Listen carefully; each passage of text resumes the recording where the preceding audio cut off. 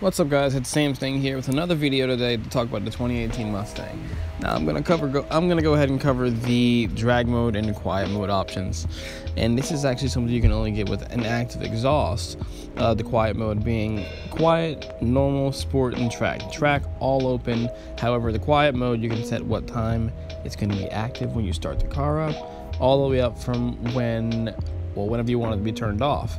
Now, this is a cool little feature if you're considerate about your neighbors, but most people don't really care. Um, but this is going to be one other thing you can possibly use to shut up a Chevy fanboy or Dodge fanboy that Ford has an edge over another manufacturer. Now, I'm not saying this is what makes the car better than any Camaro or any Dodge or any, whatever sports car may be out there, but it's definitely a new feature that is innovative and nice to see. Now we're going to move on to the drag mode aspect of thing. Now the Mustang GT and the Mustang EcoBoost is compatible with the drag mode, unlike the quiet mode with the Mustang GT, because why would an EcoBoost need a quiet mode unless you're planning to be the loudest fart canning embarrassment Mustang on your street, by all means go ahead, but you're not going to have a quiet mode.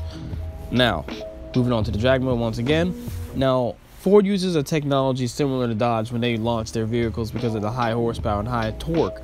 And this really helps out when you have a, well, not lower, but 460 horsepower car, 420 pound feet of torque, and you're putting it all to good use, and it can lock up and just release it all at the right times. Now, this acts for a really good launch, and well, it's 0 to 60 in under 4 seconds, and we haven't actually seen quarter mile times, but based on from what we heard, they're supposed to be really good.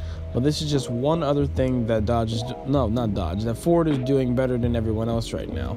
Now, I do understand this did come with Dodge, and Ford is not the per first person to do this. However, they did execute it in a very nice manner. Now, I think that the 2018 Mustang is very underrated as it is right now, but that is an opinionative kind of statement.